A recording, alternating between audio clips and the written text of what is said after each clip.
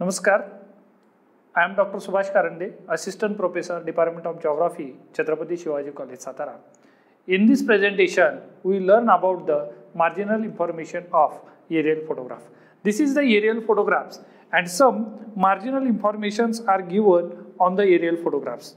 These marginal informations are important to the interpretation of aerial photographs to arrange three-dimension view under the stereoscope and this marginal information gives detailed things about the area covered by aerial photographs, flying height, then flight planning and scale of the aerial photographs. Now we learn about the marginal information of aerial photographs step by step. The photo size of most of the aerial photographs are 23 centimeter by 23 centimeter. Means these are the square photographs.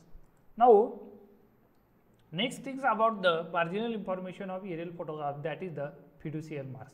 Every photographs have a minimum 4 to maximum 8 fiducial marks and fiducial marks are mostly on the corner of the photographs or the uh, on this position of the photographs.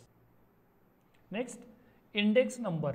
Index number these are the important things of the aerial photographs.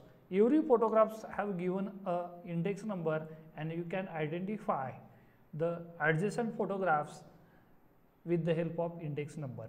And index number it's important things during the survey or if you learn about the some historical photographs so there are the required index number.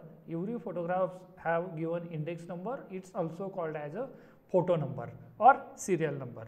Next thing side of the image under three dimension view. Some of the photographs are given image on left side or image on right side. These are the important things. When you orient three dimension view under the stereoscope, at that time you require position of the photographs from right side or which photographs on the left side. So, if these are the given, so these are the very helpful. If not given, so you can take uh, with the help of index number or photo numbers higher on the left side and lower on the right side.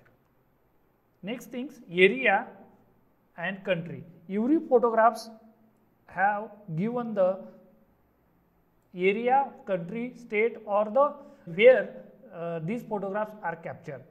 So, these photographs are captured from Wollongong and these are the area and these are the in NSW means the New South Wales.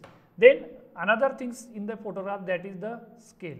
Here 1 has to 16,000 these are the scale of the aerial photographs that these are the important things on the aerial photographs.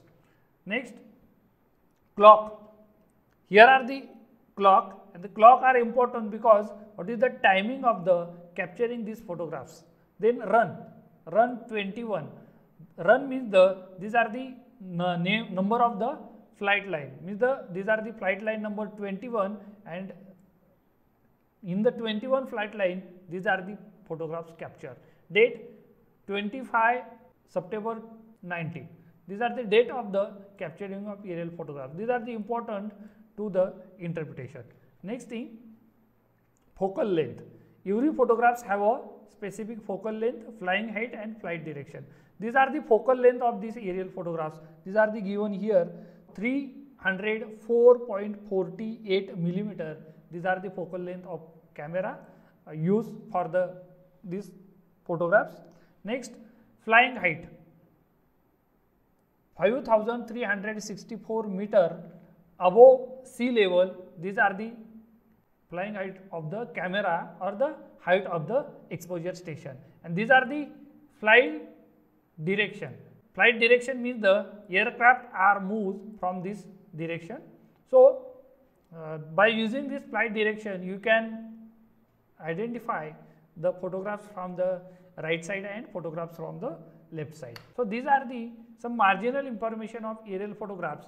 In some aerial photographs, there are the given more information or some in some aerial photographs, there are the given less information. So, these information are useful for the interpretation of aerial photographs. Thank you very much.